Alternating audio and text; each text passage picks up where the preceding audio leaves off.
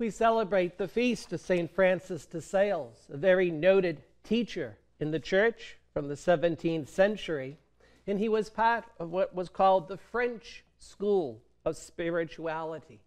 We don't often hear about the French school of spirituality today, but it was very noted for being Christ centered. And that is a key for the people of France and Italy and that time, time in Europe. People were getting lost on what to really believe in. And the French school of spirituality said, focus on Christ, have Christ as the center. So we have Cardinal Pierre de Bérulle, Francis de Sales, Vincent de Paul, Jean Jacques Ollier, John Eudes, and Louis Marie de Montfort. All of them were part of this great group that were trying to bring Christ back to the people, the everyday, the ordinary. And what was the French school? Well, because they were so Christ centered, great religious orders of men and women came from them. We have the Oratorians, the Vincentians, the Eudists, the Sulpicians, and many congregations of women religious. At the heart of the French school of spirituality was the picture of Mary holding the child Jesus. Some would call it uh, Sede Sapientia, a lady seat of wisdom. But if you can imagine Mary holding Jesus, and that's what the people would talk, say, point to a statue of Mary holding Jesus, that Mary contemplated Jesus in her mind. Jesus held, Mary held Jesus next to her heart. So we have that whole understanding of love. And finally, Mary was holding Jesus in her hands.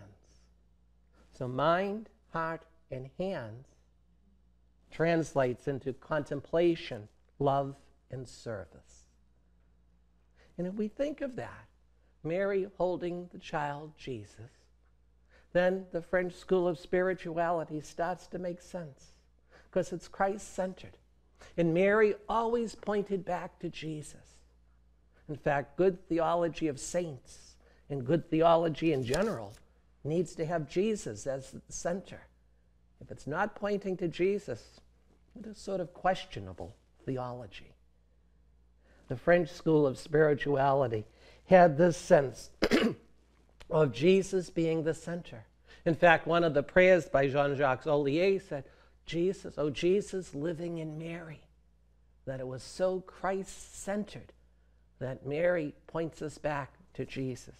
As we think of that statue of uh, Sede Sapientia, or of um, Lady Seat of Wisdom, Mary holding the child Jesus, we can think Mary contemplated much in her mind. Do we meditate on Scripture in our minds? Do we have that sense of silent preparation before Mass or before celebrating something important that we really want to get into that mindset of having Christ as a primary focus? Finally, Mary holding the child Jesus next to her heart. Do we have that sense of love and adoration that Jesus before all things? Jesus as my center, Jesus as my reason for being. And finally, as Mary holding the child Jesus in her hands, service. What service are we meant to do in Christ's name in the world? What service are we meant to use our hands or our gifts and talents for?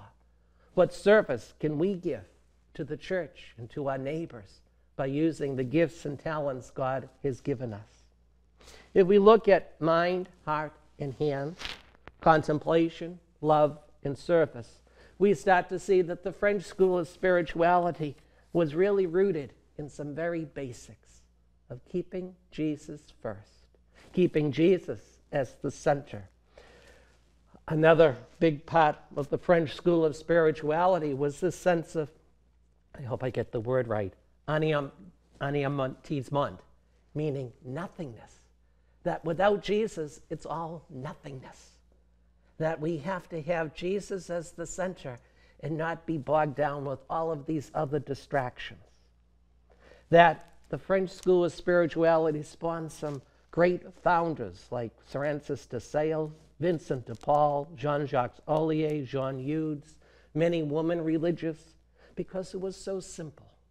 This day, as we try to live out our faith in the world, let us try to live the spirituality of the French school from the 17th century of putting Jesus as our center, putting Jesus and being Christ centered in our lives with our minds, hearts, and hands through contemplation, love, and service.